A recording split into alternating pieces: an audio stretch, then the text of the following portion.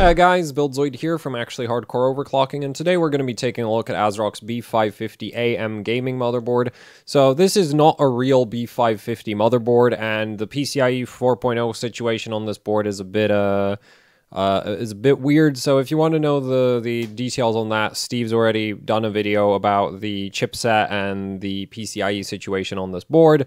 But I will tell you, like, but what you should know is this is not B550. The A right here is actually part of the chipset name, um, not part of the motherboard name. So the motherboard name is M Gaming, which basically tells us MATX, and well, it's a motherboard, therefore it's for gaming. Um, what else would it be for, right? like, no, nobody builds workstations today. Before that, this video is brought to you by Squarespace. Squarespace is what we've been using for years to manage our own Gamers Nexus store, and we've been incredibly happy with the choice. Squarespace makes e-commerce easy for those interested in starting stores, but it also has powerful tools to build all types of websites. Photo galleries for photographers, resume and portfolio sites, and small business sites are all easily done through Squarespace. Having built a lot of client websites the old way before running GN full time, we can easily recommend Squarespace as a powerful, fast solution. Go to squarespace.com slash gamersnexus to get 10% off your first purchase with Squarespace. Though admittedly, this is a motherboard from a CyberPower pre-built, so, you know, I, would assume most of their customers are probably gamers, right? Like, I don't know. I don't really care that much about pre-built systems. So, anyway, um, yeah, so B550A is the actual chipset name, and it's it's basically B450, but with PCIe 4.0 support turned on partially. Again, if you want more details, Steve's done a video about that. You can go watch that instead. Um, we're here to talk about is the power delivery, of course. Um, and to that extent, we're looking at basically the same VRM uh, for the vCore portion. Um, as actually vCore and VSOC is exactly the same as what you would get um, on the ASRock X570M Pro 4, which is basically the cheapest X570 MATX motherboard you can get. Um, it's also not very good. And uh, I mean, the, the thing is, this isn't a pre-built system, so nobody's going to overclock this. Um, at the same time, when we look at the back, like they've also gone and just like cut more corners because like nobody's ever going to try to overclock this. So yeah, anyway, that's the vCore section right there. Interestingly enough, it is an actual 8-phase vCore. So the controller over here is a UP9505, which doesn't support 8 phases directly, but it does support uh, running with doublers, which is not necessarily supported with oral controllers. There are chips out there where you can't use doublers with them. But this can have doublers, so this is running in 4 plus 2. The plus 2 is, of course, for this part right here, which is our SoC VRM. Uh, the four then goes into a bunch uh, uh, into a bunch of chips on the back of the board, which would be these. Um, these are all UP1961s, and those are doubled drivers. So each chip contains uh, two sets of drivers, basically. So you, you need a driver for each of your MOSFETs because MOSFETs take quite a bit of energy to turn on and off. So you can't just drive them with a weak little PWM signal. So you know, the PWM signal from the controller comes in to your driver, and then the driver controls the two. Uh, well, it actually hits the doubler logic of the driver, then it gets multiplied essentially into uh, two PWM signals, and that then goes into the drivers, so you can switch on uh, each phase in sort of alternating fashion, and you'd have the MOSFETs at like up here, and then the other two would actually be here because, the, or around somewhere in this area. Anyway, doesn't matter. Basically, each of these controls two phases, and the two phases will be interleaved. Um, but there is only four phases coming off of the controller. Um, there's not much detail on how, like, if these do any current balancing themselves, but considering that this is a UP9505 voltage controller, which is a relative, like, it's a low-cost uh, controller from UPI, uh, the current balancing is probably done in the doublers instead of doing something like what, say, International Rectifier does, where they basically have controllers that are so very capable that they can actually distinguish between two phases, even on a single current sense input. Um, well, a controller like the one we have here won't be able to do that, and so uh, most of UPI's uh, doublers will actually do current balancing for the controllers because UPI generally is the sort of low cost uh, controller option out there. Um, so what essentially that means, and, the current balancing they implement is actually like the bare minimum current balancing you can have. So it, basically just skips a pulse if one phase is pushing significantly more current than the other. The issue with uh, pulse skipping uh, current balancing is that a lot of the time, if you skip a pulse for one of the phases, now your current balance is again like instead of uh, like going back into balanced current through both phases, which is what you want for optimal efficiency. So instead of going from like so like imbalanced would be like having 30 amps going through one phase and 10 amps going through the other phase.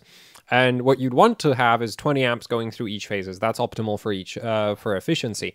But what tends to happen if you have uh, phase skipped uh, current balancing, where it'll just skip one of the two, like it'll basically uh, skip a pulse for the phase that's pushing 30 amps.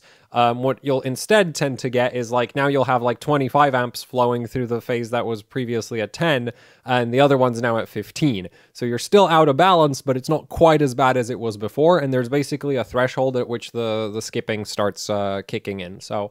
Um, yeah, it's not like there are smarter ways of handling current balancing, but this this is a this is definitely an option um, that is popular with the cheaper controllers. Also on the back of the board, uh, we can see that is like who needs filtering, right? Capacitors are very expensive. Um, so the thing is, is like realistically, nobody's going to overclock on on this motherboard. So what you can actually see here is like this is the same capacitor sort of footprint that you would see on like a high-end X570 ASRock motherboard, and they basically just decided to remove a lot of the bypass capacitors for, because, well, if you're not overclocking, these don't really matter that much as long as the motherboard reaches uh, AMD's voltage regulation specifications uh, is fine, right? Like, so this is fine. It doesn't look like like it looks like they didn't finish the board, but no, this is at stock fine. I wouldn't want to overclock on this. The issue with having a lot of capacitors like this missing is basically if you're overclocking, you're probably going to need way more voltage than a motherboard that actually has uh, all of its bypass capacitors present because uh, these essentially soak up the switching noise from the CPU. And the switching noise basically causes your voltage, like it basically pushes your minimum voltage lower. Uh, I'm not actually, I, I don't know why I'm trying to explain this. Basically, this is bad for voltage regulation. That That's the simple version of this. Is just like your, your voltage, and it's not, uh, like this is the kind of thing that if you don't have an oscilloscope you can't measure it okay so you can just forget about looking at any software and going like oh my motherboard has bad voltage reg-. no your any software voltage reading is a very uh, is very averaged, like heavily averaged. So it's completely worthless for actually seeing effects of you know design decisions like this. So anyway, um, but yeah, this, you know, for for a motherboard that's only ever going to run at stock, this is really not a concern. Um, anyway, so that's kind of the control scheme, right? Is just like you have a four times two, so an eight phase, um, where you have one high side and then one low side in each phase right? And then so like this right here with this inductor, that's your phase. This up here is a phase as well. Um, and then this right here is its own phase. It does kind of look like they, they have a, like the, the way they've just laid out the, the MOSFETs makes it not look like, uh, like it looks, makes these look like they're in a group together, but that's not actually going on. It's just to make sure that they have space for the driver over here and all of the, the uh, traces that they need to run to and from the driver um, because this is a I assume this motherboard is like a four four layer PCB, so they might not really have enough uh, real estate to to lay it out more densely if they wanted to. Anyway, it also can kind of help with uh, thermal density to have the VRM spaced out a bit more like this. Um, so that can improve the thermals. Now, for the actual MOSFETs, um, we are looking at a SM uh, for the high side. You're looking at an SM uh, 4337 from Sinopower, um, which is a pretty popular brand for low-end motherboards, especially from ASRock. Um, and then for the low side, we're looking at a SM4336. Uh, um, and this is horrible. Um, so the problem I have with this MOSFET for the low side is like, uh, this is a 5.3 milliohm RDS-on uh, MOSFET, which the issue with this is that the main source of power loss in your VRM um, is the switching of the high side MOSFETs and then the conduction losses of your low side MOSFETs. The conduction losses are entirely dependent on your RDS on. Um, 5.3 milliohms of RDS on is is insane. Like it, for comparison, like well, on really high end motherboards, you'd have like one milliohm of RDS on per phase. Um, which is one fifth of this, which literally means that for any given amount of current, th- that MOSFET produces about one fifth as much heat as what this does. So yeah, and for even more like even for like lower cost motherboards, most boards will stop with low like the, the even the cheap boards you'll be looking at like 4 milliohm RDS on low side MOSFETs and, and these are 5.3. So these are really bad. And it's not really like Sinopower does make better MOSFET options. It's just ASRock's being cheap. So they're using an SM4336 instead of something more uh, appropriate for a low side MOSFET application. Then again, this is an eight phase. So, you know, the current draw is spread uh, across a lot of these MOSFETs in parallel. Um, and the other thing is, is just like it has a lot of surface area and nobody's going to overclock on this. So at like stock current draws, this is actually going to be relatively okay. Um, at, uh, I wouldn't want to overclock on this. Like just no, like th this is just not a very good high side MOSFET. I mean, low side MOSFET. The high side's actually fine, but the low side MOSFET is not okay. Um, and we're not talking about any parameters for the high side MOSFET because they're complicated to explain why they're important. So that, that's why I'm just keeping them to myself. Anyway, what this selection of MOSFETs means for this VRM's uh, efficiency is that at 1.2 volts output voltage, 300 kilohertz switching frequency, um, it is able to do and 10 volts drive voltage, which, which, realistically, this being a low cost motherboard, it's gonna th these MOSFETs are gonna be driven with straight 12 volts, not 10. Just because if you wanted to run them on 10 volts, then you'd need to uh, build a voltage regulator that converts 12 volts into 10 volts. And well, that's way more expensive than just ramming 12 volts into the MOSFETs, especially since most MOSFETs are perfectly capable uh, with handle like well, most power MOSFETs are perfectly capable of handling 12 volt drive voltage, at least if you choose them for that. Um, so you wouldn't want to run these on on uh, like th they're not going to be running them on on 10 volts here because that would just cost more. The one downside to running a slightly higher voltage for drive voltage is you basically get a little bit more switching loss, but compared to the conduction losses from the terrible low side MOSFETs, it's basically irrelevant. Um, th this is by far the main source of heat in a VRM, especially at higher current draws. Like the more current your VRM has to output, the more important it is that you have a low RDS on low side MOSFETs. Um, and, and well, these aren't. These are terrible. So the end result is that, but then again, this is for pre-builts. So you know, who cares? Like, there's just you don't like, like you wouldn't want to overclock on this because the voltage, like, just from the fact that they've stripped off so many capacitors behind, like, for filtering the switching noise of the CPU is just like I wouldn't want to overclock on this because the voltage regulation is probably not great. Um, and then the fact that it also gets really hot, well, that's kind of secondary.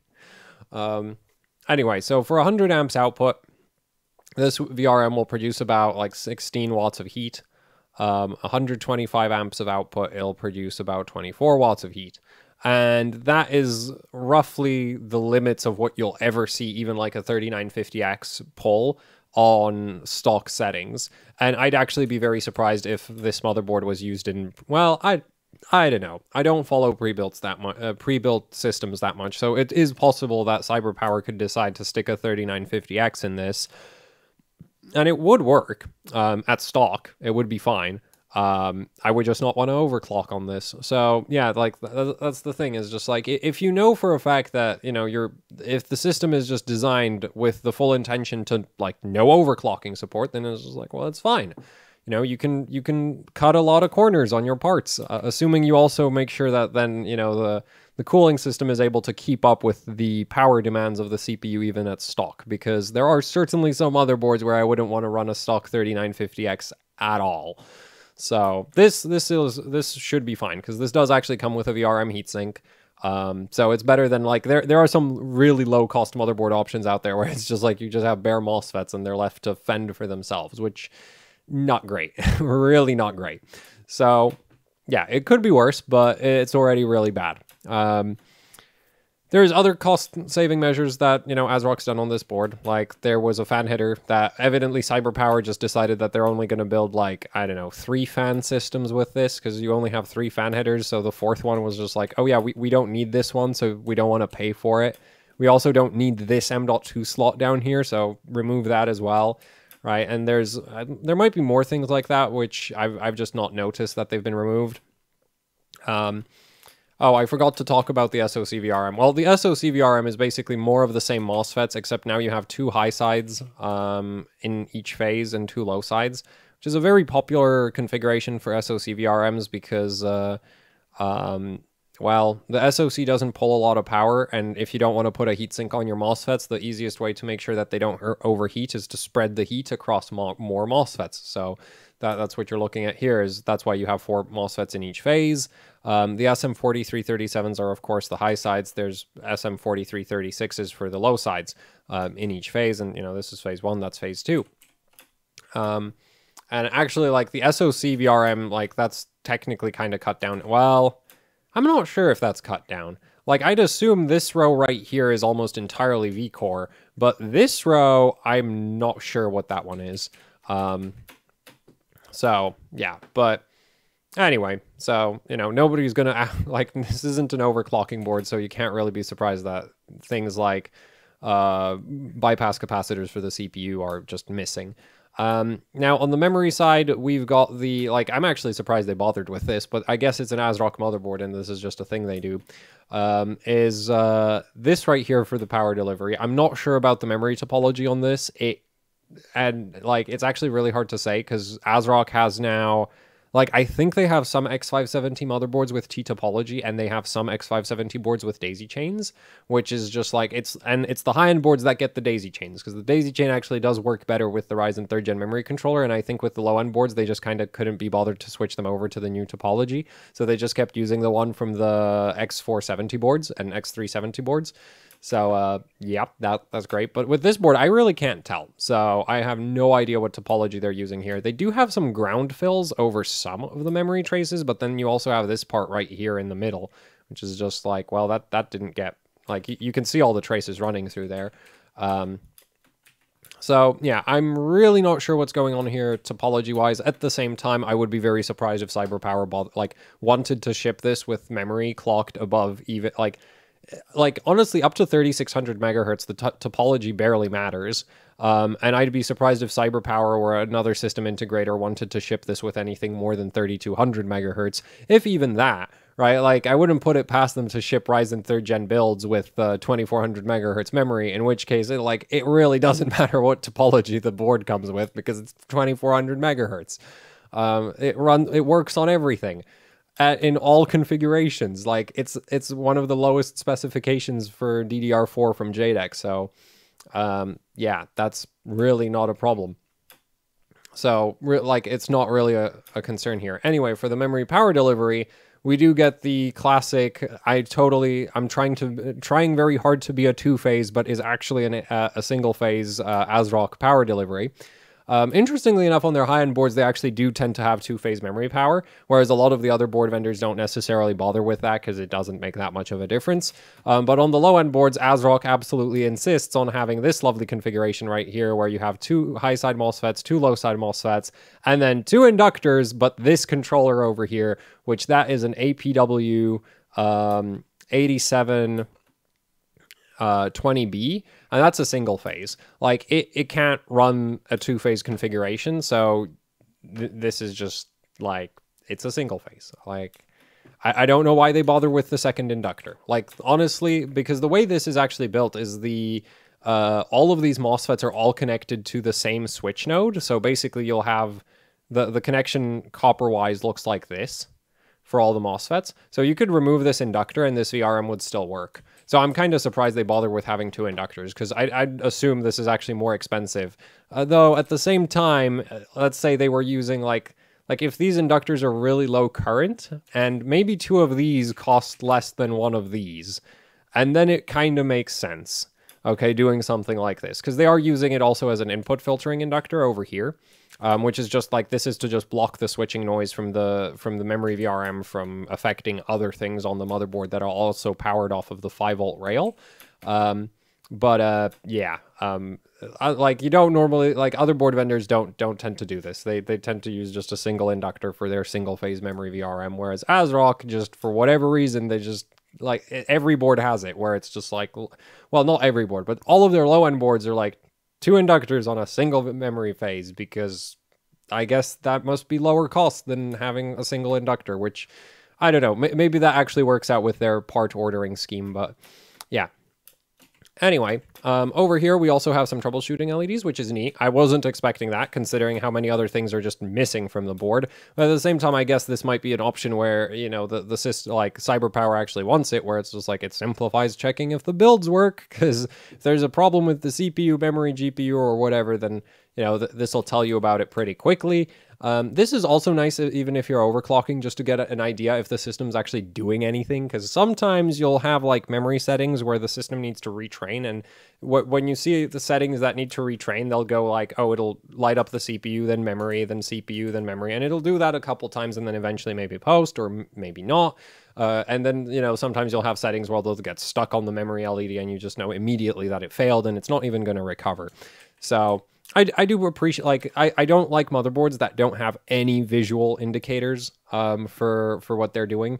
Um, but uh, yeah, so I'm actually surprised this is there. But at, at, the same time, you know, it is very helpful to have this if you're if you're trying to troubleshoot any boot issues. So yeah, that's that's kind of it. There's not really much to talk about on this motherboard except for the fact that there's a lot of stuff that they've kind of cut off and it's kind of low end and well. It, you know, it's meant to be a, a cheap PCIe 4.0 compatible option for system integrators. So it makes sense that it's just like, well, realistically, nobody's going to overclock on that. They may never ship it with a 3950X. Though this VRM thermally should, at, stock at least, this VRM should be fine with a 3950X. Because it is the same VRM that ASRock uses on their X570M Pro 4, and their X570 Pro 4, and their X570 Phantom Gaming 4, and their X570 Phantom Gaming 4 Wi-Fi. Um, so... Yeah, except on those motherboards, they actually have the full loadout of the capacitors because people might actually try to overclock on those, whereas uh, uh, like I I real I'll be very surprised if anybody overclocks on one of these. So yeah, that's that's it. That's the B550 AM gaming from from ASRock. Um, you know, like it could be worse, I guess. And for for a pre-built board, like, well, the, the funny thing is, like pre-built motherboards, you normally see relatively nice um, parts in terms of the actual like power delivery, like current handling capacity, where it's like they don't want the VRM to be ridiculous, like run really hot, because obviously if if somebody uses the system for like rendering or something and you have the VRM just roasting away, then that's bad. But one of the things that you will see missing on a lot of pre-builts is just like un unpopulated capacitor pads, where it's just like, well, do we really need this capacitor for the CPU to stay within operating specs? No, don't need it then. Um, so, you know, and that's exactly what we see on the back of the board here, where it's just like, yep, we don't need all of these multi-layer ceramics.